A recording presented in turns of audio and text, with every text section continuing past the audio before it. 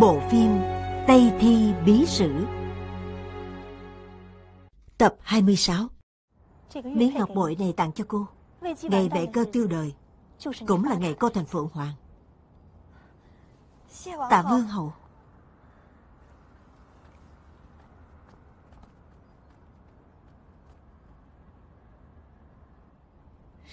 Mười tháng mang thai. Sinh nở một ngày Cô hãy chờ tới ngày đó đi.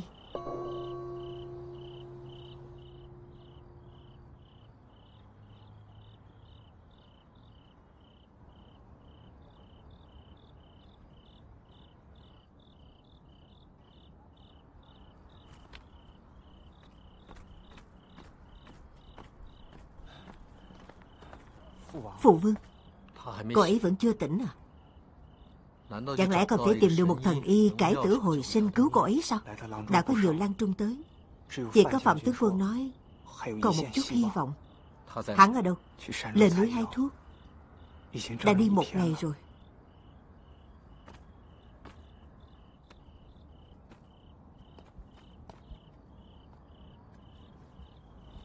Ái Phi. Nàng không thể cứ ngồi mãi thế này Thiếp nhất định phải đợi cô ấy tỉnh lại.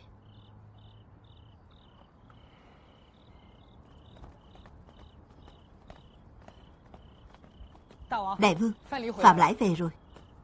Đại vương Quả nhiên nghe nói Ngươi biết thuật giải độc trị thương. Thôi thiền cô nương có thể cứu được chứ? Thầy thuốc chữa bệnh không chữa bệnh. Mặt tướng đã hai tất cả các cây thuốc cần có để giải độc. Còn lại phải xem tạo hóa của cô ấy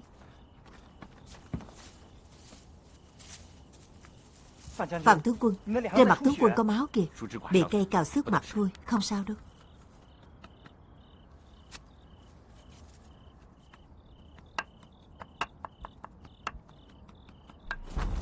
Xông lên. Các người làm gì thế này? Phụng lệnh tứ quốc bảo vệ vương cung. Thiết lập. Nhanh lên chuyện lớn rồi. Hoàng hốt gì thế? Nói đi. Binh mã của Thiết Lạc vừa bao vây tân quân của chúng ta. Hắn thật là to gan. Mặt tướng đã hạ lệnh cho tất cả tân quân chuẩn bị sẵn sàng đời lệnh của đại vương. Đại vương, Tuy rằng tân quân có số lượng ít hơn họ, Nhưng ai cũng dũng mãnh thiện chiến. Chỉ cần đại vương ra lệnh, Chắc chắn sẽ hàng phục được họ. Không không không. Chúng ta đang ở trên đất của Việt quốc. Tuyệt đối không nên gây chuyện binh đao Ý của Thái Tể thế nào? Bắt giặc phải bắt tên cầm đầu. Bắt được thiết lập. Binh sĩ của hắn sẽ không đánh mà tan. Thiết lập sẽ không ngồi chờ chết đâu. Một trận huyết chiến là không thể tránh khỏi. Đại vương chỉ bằng liều chết một phen dồn họ vào đường cùng. Không được huyết chiến. Họ đều là quân của quả nhân. Bên nào thương vong cũng đều chứng tỏ sự bất tài của quả nhân. Các người, Đại vương Đại vương Vệ cơ phu nhân phái người đến gặp đại vương, Nói là có chuyện lớn cần bẩm báo. Họ ở đâu? Đang ở ngoài cửa. Bao vào đi. Tiểu nô khâu kiến đại vương. Đại vương. Thần và Lý ủng tướng quân tạm thời xin lui. Không cần. Việc nhà của quả nhân Chính là quốc sự của Ngô quốc. Nói đi. Hôm qua ngũ tướng quốc bí mật vào cung gặp vương hậu. Gặp vương hậu à? Nói là muốn ủng hộ đại điện hạ lên ngôi Thay thế đại vương. Còn gì nữa không? Hết rồi ạ. À. vậy cơ phu nhân khuyên đại vương nên thận trọng. Lùi ra đi. Dạ. Đại vương, Quả nhân phải lấy tỉnh chế động. Xem thế nào đó Một canh giờ nữa. Hai khanh và hai vị điện hạ vào đây. Quả nhân có chuyện muốn nói. Dạ.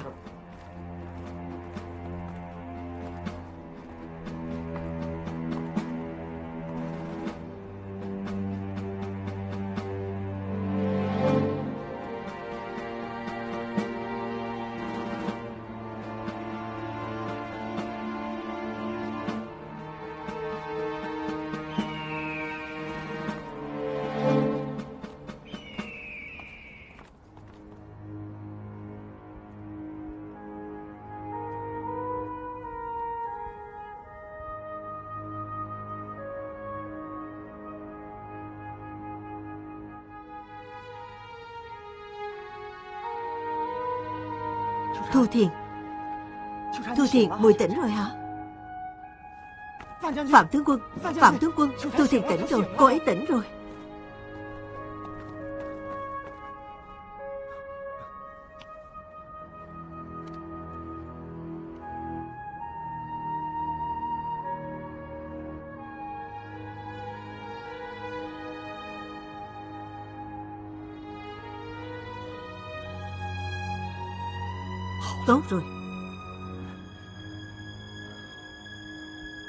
Đại Điện Hạ hãy mau cho cô ấy uống hết chữa thuốc mà Tại Hạ đã chuẩn bị. Ân cứu mạng của Phạm Tướng Quân, Bổn Điện Hạ nhất định sẽ hậu tạ Không dám Không dám.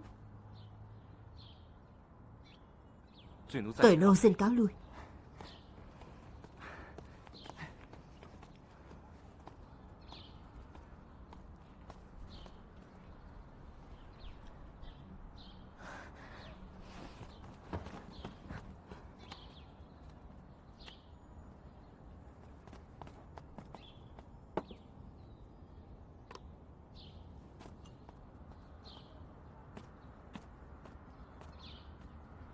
Điện Hạ Đốt cháo cho Thu Thiền đi.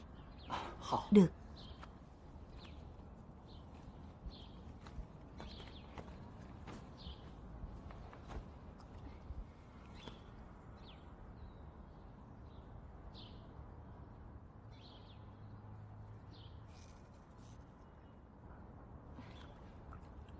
Hay là để ta đút cho.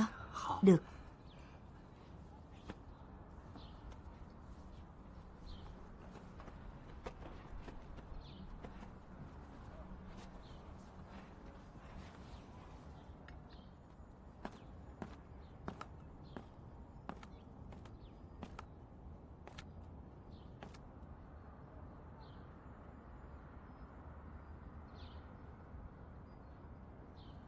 Đại Điện Hạ. Điện Hạ hãy đút cho cô ấy như ta vừa làm nhé. Được. Đa tạ phu nhân.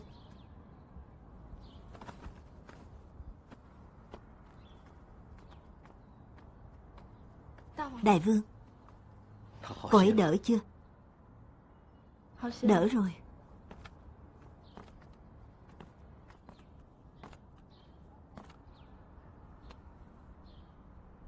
Nàng đã ngồi ở đây cả đêm sao Đại Điện Hạ cũng đã ngồi ở đây cả đêm.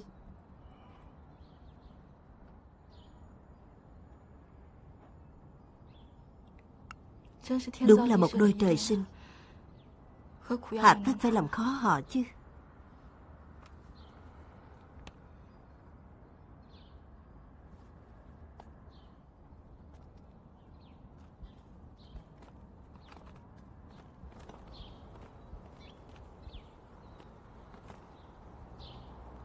Vương hậu làm vậy là có lý do của vương hậu. Vương hậu à Không cần phải che giấu. Thật ra trong lòng mọi người đều hiểu rõ Là vương hậu phái người đến giết Thu Thiền. Tại sao không nói cho quả nhân biết? Sợ quả nhân biết rồi sẽ xử phạt vương hậu sao? Đại vương có làm thế không? Không phải quả nhân không phân biệt trắng đen. Cũng không phải nhất định chia rẽ hữu nhi và thu thiện. Quả nhân vừa nói rồi Vương hậu làm vậy là có lý do của vương hậu. Ái Phi xuất thân dân thường. Nàng chỉ biết nỗi khổ của dân Mà không biết cái khó của bậc vương giả. Hữu Nhi sinh ra trong gia đình đế vương. Nó phải đối mặt với số phận đã định sẵn của nó. Số phận định sẵn Nó không được sống thoải mái theo bản tính của mình. Số phận định sẵn Bản tính à? Bắt đầu từ ngày nó sinh ra Là đã phải gánh lấy sứ mệnh kế thừa Giang Sơn này. Đó là số phận định sẵn. Tất cả mọi việc, Mọi sự lựa chọn Đều không thể đi ngược với điều đó được. Không lẽ Điện Hạ yêu Thu Thiền Là đi ngược với việc kế thừa Giang Sơn? Ngô quốc muốn bá lĩnh chư hậu Không phải là việc dễ. Hôn nhân giữa các nước lớn là một thủ đoạn không thể thiếu vì thế vương hậu đã chọn công chúa Tấn Quốc cho Hữu Nhi. Nói vậy là Đại Điện Hạ bắt buộc phải từ bỏ Thu Thiền. Vậy Trừ phi Nó có thể nạp Thu Thiền làm phi Sau khi đã thành thân với công chúa Tấn Quốc Và Thu Thiền không bao giờ được làm người yêu duy nhất của nó. Nếu không Nếu không thì sao? Thu Thiền phải chết. Hoặc là Hữu Nhi cam tâm từ bỏ kế vị ngôi vua. Lời quả nhân nói Đã có hiểu không? Có nghĩa là nếu một ngày nào đó Đại vương đứng trước một sự lựa chọn Giữa nô tỳ và Giang Sơn Thì nhất định quả nhân tin rằng Sẽ không bao giờ có ngày đó. Nếu có thì sao? Quả nhân cần cả Giang Sơn lẫn Ái Phi. Quả nhân muốn biết Nếu một ngày nào đó Quả nhân mất đi Giang Sơn Nàng có chịu lưu lạc tha hương Như là nhã ngư không? Dù có sống hay chết Nô tỳ cũng sẽ đi theo đại vương. Tốt.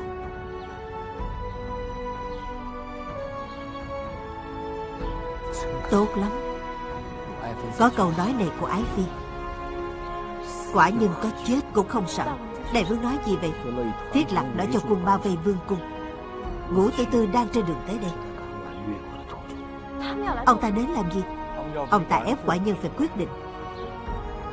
Hoặc là nghe ngũ tử tư, Diệt tận Việt quốc. Hoặc là Hoặc là sao? Nếu ngũ tử tư muốn giết quả nhân thì sao? Vậy bảo ông ta hãy giết nô tỳ trước đi. Nếu ngay các người con gái mình yêu, Quả nhân cũng không bảo vệ nổi, Thì làm đại vương cũng uổng. Đại vương, Thái tệ đại nhân nói Họ đang đợi ở bên phiến điện.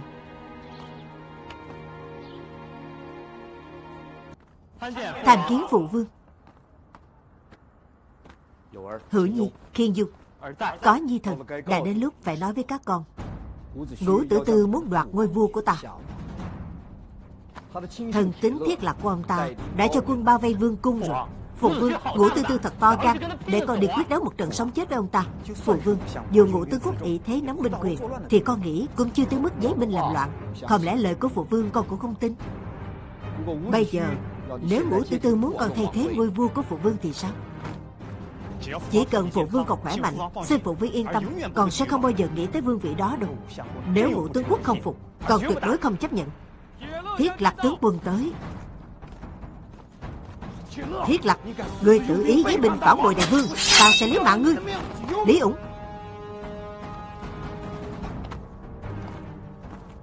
Mặt tướng chỉ đến bẩm báo đại vương Ngũ tướng quốc sắp đến rồi.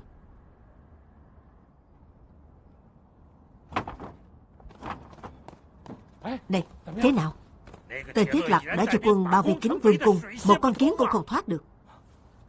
Ngũ từ từ đến chưa? Nghe nói chưa đầy hai canh giờ nữa là vào thành. Kẻ đến không hiền. Lần này nhất định ông ta sẽ dồn nước ta vào chỗ chết. Phạm lại Với ngũ tử tư, có thể dùng cách như với bá bì không? Không thể được. Trần Trần Tuy Lý, Hạp Lưu bị thương nặng mà chết. Ông ta coi thất bại đó là nỗi nhục lớn. Tuyệt đối sẽ không vì một chút tiền tài Mà xóa bỏ quyết tâm trả thù. Đại vương đã sang ngô làm nô lệ rồi, Chẳng lẽ thù đó còn chưa trả? Năm xưa, ông ta có thể đào mộ Cuộc thay sở Bình Vương 300 roi. Chứng tỏ ngũ tư tư là người có lòng hận thù lớn. Nay đại vương còn sống. Nước ta còn tồn tại Đã vậy Ta sẽ lập tức xuất cung theo đường hầm. Bí mật triệu tập binh mã đã huấn luyện Quyết một trận tự chiến với họ. Không được. Quân tinh nhuệ của Ngô Quốc đang ở đây Số binh mã huấn luyện của chúng ta không phải là đối thủ của họ. Huống chi câu tiễn đại vương vẫn còn ở bên Ngô làm nô lệ Tuyệt đối không thể là trận tự chiến. Thế này cũng không được, thế kia cũng không được. Chỉ có thể đợi chúng tiêu diệt chúng ta sao? Không.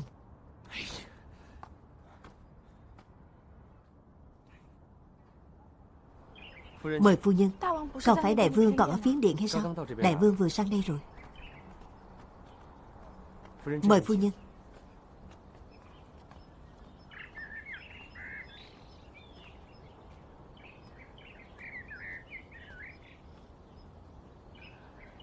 Đây chẳng phải là mật thất của vương cung Việt Quốc sao? Sao đại vương lại ở đây? Phu nhân cứ vào đi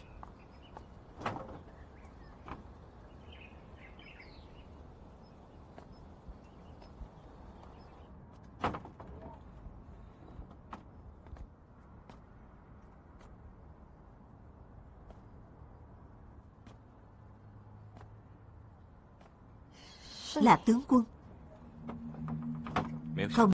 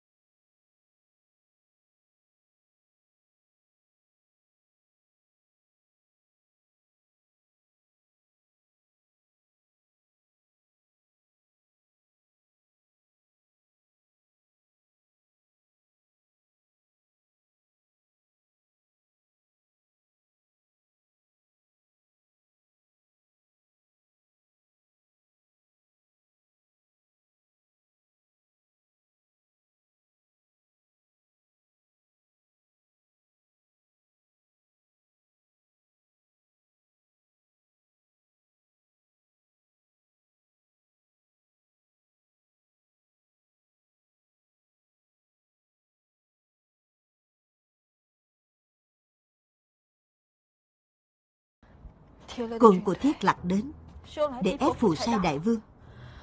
Phù sai đại vương không muốn tiêu diệt nước ta, cũng không muốn chịu sự điều khiển của ngũ tử tư. Giờ đại vương cũng như nước ta, đang đứng trước sự sống và cái chết. Nếu vậy, phu nhân có thể giúp ta gặp phù sai được không?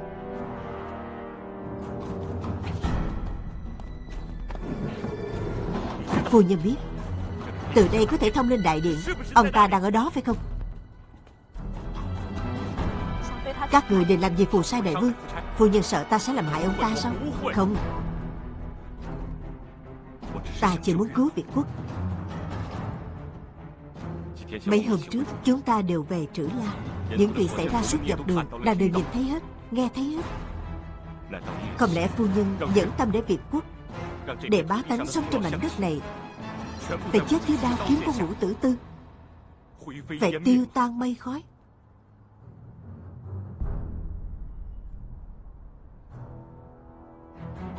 Nếu phu nhân thực sự thấy khó Vậy thì thôi đi. Xông lên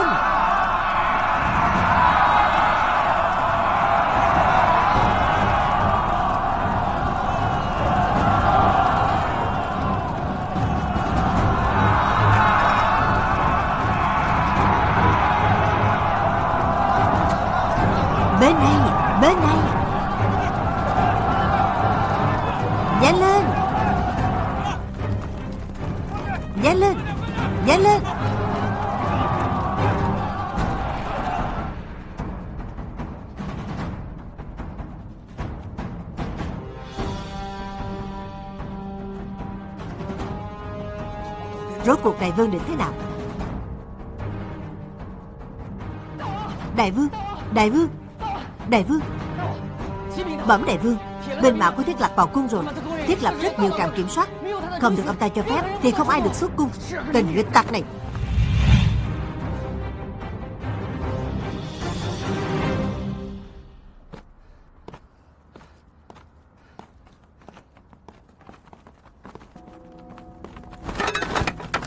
To gan.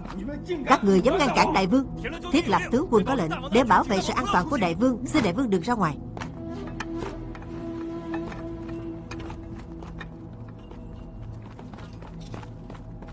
Xin đại vương đừng làm khó mặt tướng, Đây là vì sự an toàn của đại vương. Tránh ra.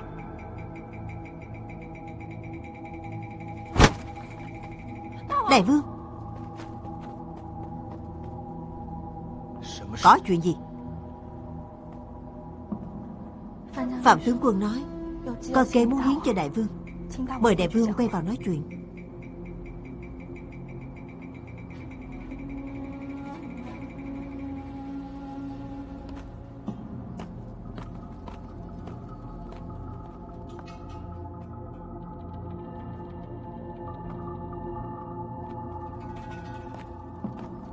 Đại vương giá đáo.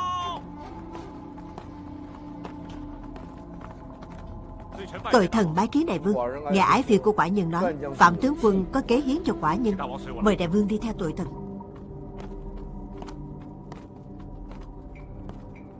Tội thần biết tình hình đang nguy cấp. Sau ngay vàng kia có một đường hầm thông ra ngoài cung. Người muốn quả nhân trốn ra ngoài. Đúng sau khi thoát ra khỏi nguy hiểm, Đại vương có thể lập tức triệu tập tân quân. Nếu cần tội thần có thể ra lệnh cho bá tánh Cùng đại vương quyết một trận sống mái với ngũ tử tư. Đại vương thần cho rằng kế của phạm lại có thể thực hiện được, Bạc tướng cũng cho rằng có thể được. Chỉ cần đại vương thoát ra khỏi nguy hiểm Thì có thể nhất hô bách ứng.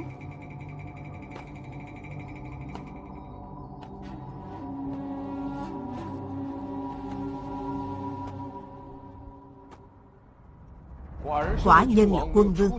Không có lý gì lại phải chạy trốn. Quả nhân sẽ giành lại quyền lực của mình Bằng sức của mình. Nếu không thà chết còn hơn. Ái Phi nghĩ thế nào? Nô tỳ tin tưởng ở đại vương. Các người lui ra cả đi. Lý ủng ở lại. Dạ.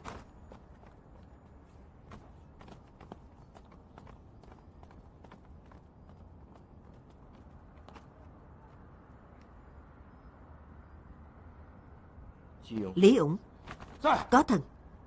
Khanh lại đi.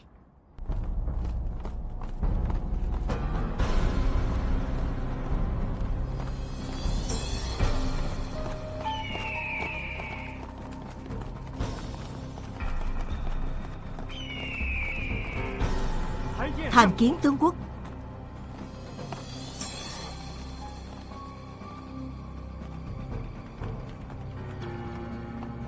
Thần ngũ tử tư khấu kiến đại vương. Tướng quốc miễn lễ. Quả nhân đã đợi tướng quốc ở đây lâu rồi.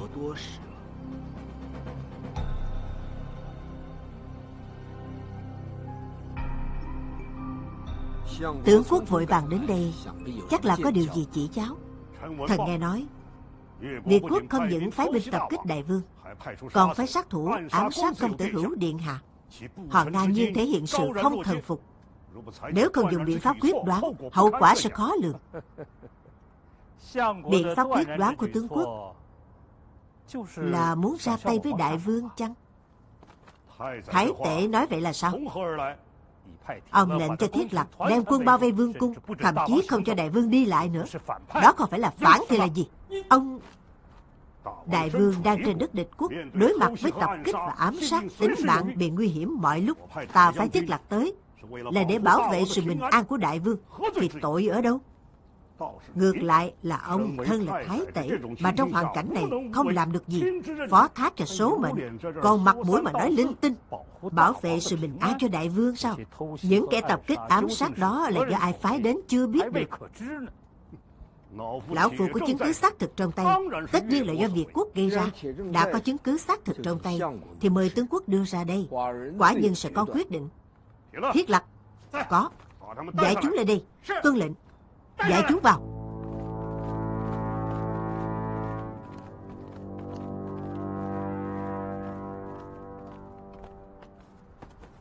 Tội thần khâu kiến đại vương. Đứng dậy. Tạ đại vương.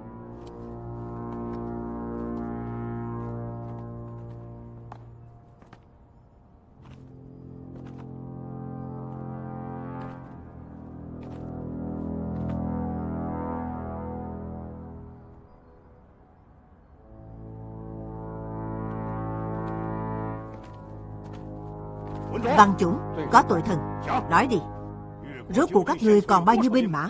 Bẩm tướng quốc, Theo hiệp ước ban đầu Việt quốc chỉ giữ lại một ít binh sĩ Để bảo vệ cung thành và giữ trật tự, Trấn áp địa phương, Số còn lại đều đã được giải tán. Đã giải tán hết rồi. Phải. Giải chúng lên đi. Quỳ xuống Quỳ xuống. Hãy nói to lên. Các ngươi là ai? Giờ đang làm gì? Chúng tôi Chúng tôi được triệu tập vào trong núi. Tập võ luyện binh. Tập võ luyện binh để làm gì? Có tất cả bao nhiêu người?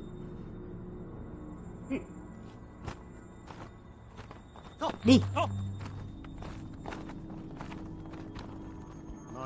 Vậy thì mời văn chủng đại phu trả lời đại vương của ta đi Họ đúng là binh sĩ của nước tội thần. Cũng đúng là ở trong núi tập luyện Nhưng những người này Chính là lính bảo vệ cung thành Và trấn áp địa phương. Nói năng sằng bậy, Binh sĩ bảo vệ cung thành và trấn áp địa phương của các ngươi Đã không phải là ít. Tại sao vẫn còn lén lúc huấn luyện tân binh, Doanh trại còn mãi Như đời người ngắn ngủi? Chắc là binh sĩ ngô quốc Không làm lính cả đời đó chứ. Bẩm đại vương, Bẩm tướng quốc từ khi nước tội thần chiến bại, Dân sinh khốn khổ, Nhà nông thiếu đàn ông, Nên đành phải thay phiên nhau. Số binh sĩ luyện tập trong núi này Là để thay phiên. Người có thể thay phiên nhau. Chẳng lẽ còn phải tăng một lượng lớn binh khí sao? Lời của tướng quốc tội thần không hiểu. Thiết lập, Có, Đem số binh khí đó lên đây. Rõ. Đem lên đây.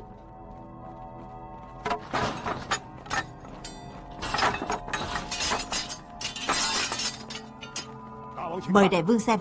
Đây là số binh khí giết người lợi hại trên chiến trường. Thiết lập tướng quân vừa phái người lục soát phủ đệ của Linh Cô Phù Số binh khí này chất đầy trong kho. Đại vương, Tội tướng có lời muốn nói. Nói đi. Tội tướng Linh Cô Phù là một võ quan, Vốn rất yêu thích các loại binh khí. Khi giải tán binh mã, Không nỡ đúc lại binh khí thành nông cụ, Nên đã giấu văn chủng đại phu, Cất chỗ binh khí giáo mát này vào trong phủ. Tội tướng có tội. Nhưng không hề liên quan tới quốc sách của Việt quốc. Xin đại vương minh xét. Giáo biện săn bậy. Từng lời của tội tướng đều là thật. Linh cô phù, Ngươi là tướng quân mà dám chống lệnh, Để cho người ta nắm được thóp. Người ta phải giết ngươi. Linh cô phù, Có tội tướng. Ngươi bịa lời gian dối để lừa gạt quả nhân. Từng lời của tội tướng đều là thật. Từng lời là thật sao? Tội tướng Nguyện lấy máu của mình làm chứng.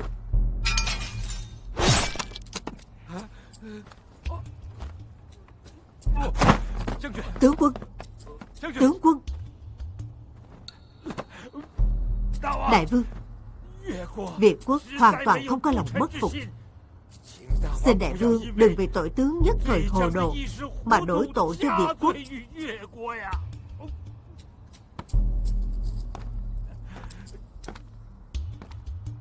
Đại vương.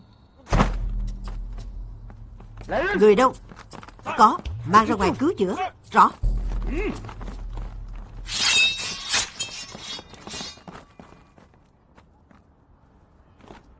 Linh cô phù Nói, Rốt cuộc nước ngươi còn bao nhiêu binh mã? Có phải ngươi phái binh tập kích đại vương ở Trữ La không? Không. Không phải tội tướng phái binh. Việt quốc Càng không có binh mã giấu mặt. Ngươi không chịu khai thật ra, Thì sẽ chảy máu đến chết thôi.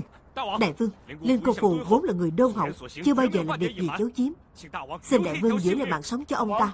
Đại vương chưa bao giờ giết người vô tội. Đại vương bảo các người khiêng ông ta ra ngoài chữa trị. Các người không nghe thấy sao? Dám chống lại vương lệnh. Các ngươi thật to gan. Ta nghĩ kẻ to gan là Thái tể đại nhân mới phải. Ông chứng cứ mưu phản rành rành ra đó. Ông còn dám bao che cho chúng. Hôm nay Lão thần không những phải giết Linh Cô Phù Mà còn giết chết câu tiễn Giết hết bọn chúng. Hữu Nhi, Khiên Dung Có Nhi thần. Linh Cô Phụ dám lấy máu mình làm chứng Chứng tỏ lòng trung thành và sự đôn hậu của ông ta. Quả nhân rất quý trọng những người như thế. Lập tức khiêng ông ta ra ngoài chữa trị. Dạ. Khiên Dung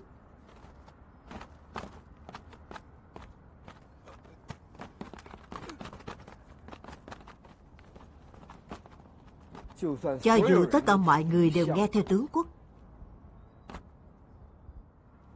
Thì quả nhân vẫn còn hai đứa con trai. Năm xưa khi câu tiễn đầu hàng, Quả nhân đã chiếu cáo thiên hạ. Chỉ cần câu tiễn chịu sang ngô làm nô lệ, Quả nhân sẽ đảm bảo cho thần dân hắn được an toàn. Quả nhân sẽ không nuốt lời nếu tướng quốc không chịu, Không phải là lão thần không chịu, Mà là đại vương hồ đồ. Ngươi, Bản tính người Việt quốc giỏi những nhịn, Cầu tiễn sang làm nô lệ, Văn chủng khom lưng cung nghênh, Phạm lãi mồm xưng tội thần Linh cô phụ chặt tay làm chứng. Tất cả là vì một ngày nào đó phục hưng đất nước. Nếu đại vương bị họ làm cho mê hoặc Sau này hối cũng không kịp, Lại dọa dẫm nữa rồi? Đại vương không tuyệt đường sống của ai, Nhân nghĩa với chư hầu. Tạo lập nền tảng vững chắc cho sự nghiệp xưng bá sau này. Nếu lòng già hẹp hòi như tướng quốc Làm sát người vô tội, Thì trong mắt các nước khác, Đại vương chẳng phải trở thành kẻ tiểu nhân đáng chê cười sao? Ông Phạm Lãi, Ngươi cười gì vậy? Tôi thần không dám. Ngươi đang cười ngô quốc. Có một thái tể như là bá mì để cho các người có cơ hội phục thù phải không? Vua là chủ một nước, thần phò trợ vua. Tội thân cười vì thần tử không coi đại vương ra gì như thế này. Thật là hiếm gặp. Người dám khiêu khích, người Người dám nhục mạ lão phu Chẳng lẽ tội thần nói sai sao? Đại vương tấm lòng nhân nghĩa Ông lại muốn giết người tràn lan. Đại vương không tuyệt đường sống của ai? Ông lại muốn diệt hết tông tộc người ta. Theo lý Các quốc sách lớn của quốc gia phải được quyết định bởi quân chủ. Ông là tướng quốc Mà lại dám tự ý dụng binh uy hiếp đại vương. Tất cả những việc ông làm Chẳng phải là trò cười cho thiên hạ sao? Ngươi! Tên tội nô lẻo mép này Hôm nay Lão phu phải giết ngươi. Đủ rồi Ý tố của tướng quốc. Quả nhân xin nhận. Lần này quả nhân tới đây Là muốn thể hiện uy của nước lớn. Lấy đức thuần phục nước nhỏ. Chỉ cần Việt quốc không có lòng bất phục Quả nhân vẫn sẽ đối xử tốt với họ. Nói vậy là đại vương vẫn không thay đổi ý định Vẫn còn muốn giết họ. Đúng. Quả nhân không thể thất tính với họ. Càng không thể thất tính với các nước. Hiểu rồi. Lão thần hiểu rồi. Đại vương nhân nghĩa kiểu đàn bà. Hoàn toàn trúng kế của Phạm Lãi. Bị con yêu nữ kia mê hoặc rồi. Thiết lập. Có. Cô ta đâu? Giải vào đây.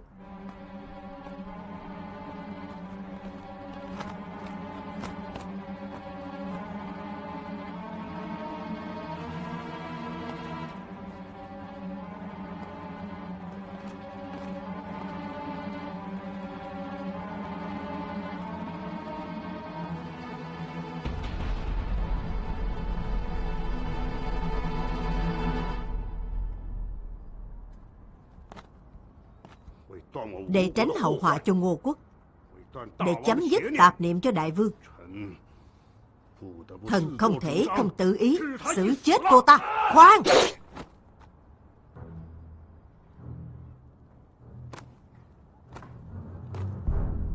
Việc đến nước này, quả nhân có thể nói cho Khanh biết. Bí mật huấn luyện tân quân không phải việc quốc, mà là ý của quả nhân. Bởi vì quả nhân biết, Kẻ không thần phục chính là ngũ tướng quốc. Đại vương, Quả nhân đã phái tân quân các lộ, Bắt hết quân mạo phái đi, Vây quanh đô thành. Các cửa kiểm soát lớn nhỏ trong nước Đều nằm trong tay tân quân của quả nhân rồi. Lúc này, Quả nhân tin rằng tướng quốc phủ Cũng đã nằm trong vòng vây của tân quân. Các người sang bên kia, Các ngươi lại đây. Các người thật to gan. Dám bảo vệ phủ tướng quốc. Đứng im, Quay về đi.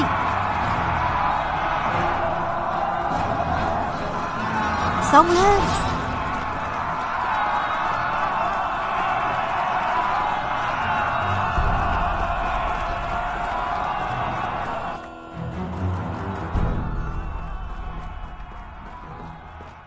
Tướng quốc, Có chuyện gì? Tân quân ở đây tự nhiên nhổ trại xong lên, Cứ như là muốn quyết chiến một trận vậy. Không lẽ đại vương Muốn khai chiến với lão thần thật sao? Nếu quả nhân muốn lấy mạng của tướng quốc, Thì đã ra tay từ khi ông bí mật vào cung gặp vương hậu rồi. Cần gì phải chờ tới ngày hôm nay chứ? Điều quả nhân không muốn nhìn thấy Chính là cảnh binh mã ngô quốc tàn sát lẫn nhau. Vì thế quả nhân có một đề nghị Ta và Khanh sẽ quyết đấu một trận. Nếu quả nhân thua, Khanh có thể giết ta và hai con trai của ta, Nếu tướng quốc thua. Ta có thể giữ lại mạng sống của Khanh, Nhưng sẽ giết cả nhà của Khanh. Thế là công bằng chứ?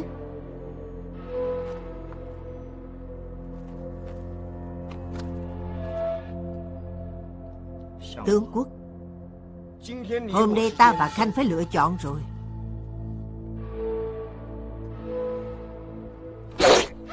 Đại vương, Phu nhân. Phụ vương. Tướng quốc, Ngươi thật to gan, Dám vô lễ với phụ vương ta như vậy. Hữu nhi, Khiên dung Lùi đi. Phụ vương Lùi ra.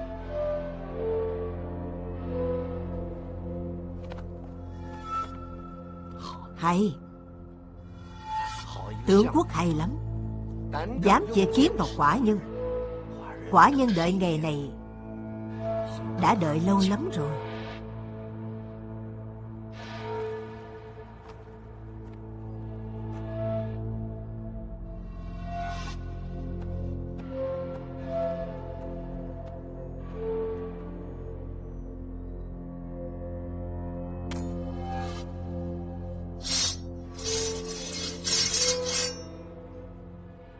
Quả nhân xin lĩnh giáo kiếm pháp của tướng quốc.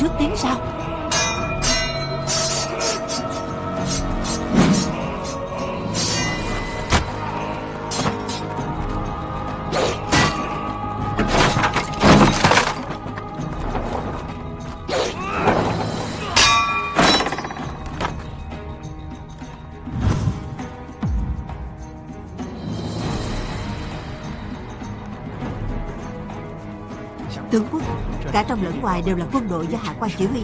Chỉ cần tướng quốc hạ lệnh thôi.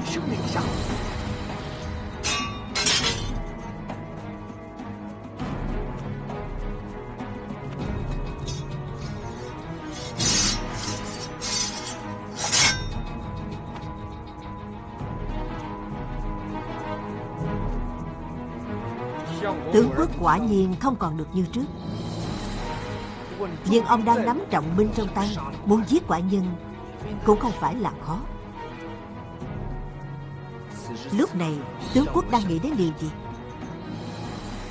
Nghĩ đến năm xưa, Ông đã đi vào đường cùng, Một thân một mình chạy sang ngô quốc, Hay nghĩ đến chuyện tiên vương giúp ông báo thù. Tiên vương đã phong ông là soái tướng, Khởi binh giúp ông tiến công nước sở như thế nào? Nếu tiên vương trên trời có linh thiên Nhìn thấy ngũ tướng quốc báo đáp người như vậy thì đúng là xấu mặt với thiên hạ.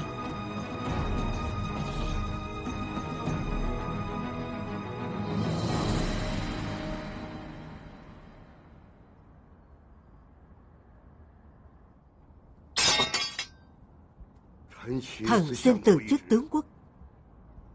Xin đại vương ân chuẩn cho thần, Giải giáp quy điền.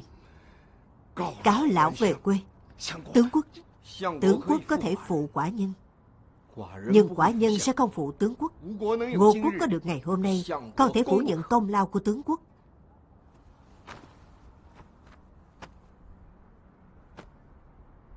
Chức tướng quốc không thể thuộc về ai khác ngoài ngũ tướng quốc.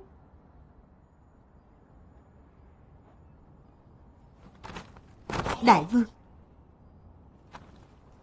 Thần Hổ thẹn Hai nước coi như tạm thời. Thoát khỏi tai họa rồi